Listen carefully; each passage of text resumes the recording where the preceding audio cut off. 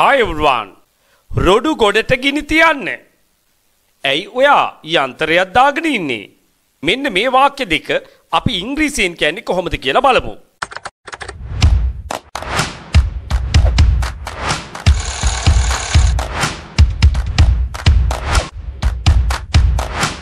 ගිනි තියෙනවට අපි කියනවා set fire set fire කැලි කසල ගොඩ කුණු ගොඩ රොඩු ගොඩ මේකට අපි කියන්නේ garbage dump කියලා. garbage dump. කුණු ගොඩ එහෙම නැත්නම් රොඩු ගොඩ garbage dump. Set fire to the garbage dump.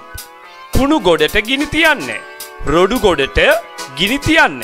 මහා කුණු කන්දක්. වාගේ දෙයකට විතරක් නෙමෙයි.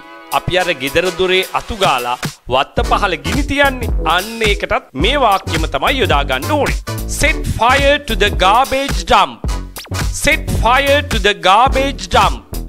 යන්ත්‍රයට කියනවා යන්ත්‍රය සුරය ඔය වගේ විවිධ වචන පාවිච්චි කරනවනේ. මේකට කියන්නේ ටැලිස්මන් කියලා.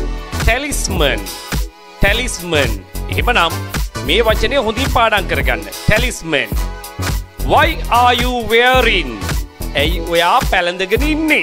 අඳිනවා හෝ පළඳිනවට අපි කියන ඔය කියලා. Why are you wearing? ඇයි ඔයා පැළඳගෙන ඉන්නේ? ඇයි ඔයා දාගෙන ඉන්නේ? A talisman යන්ත්‍රයක්. ඇයි ඔයා යන්ත්‍රයක් දාගෙන ඉන්නේ? Why are you wearing a talisman? Why are you wearing a talisman? මෙන්න මේ වගේ අපූරු දේ ඉගෙන ගන්න නම් ඔයා අනිවාර්යයෙන්ම සමන්යාපා YouTube channel එකත් එක්ක රැඳිලා ඉන්න ඕනි. So thank you everyone.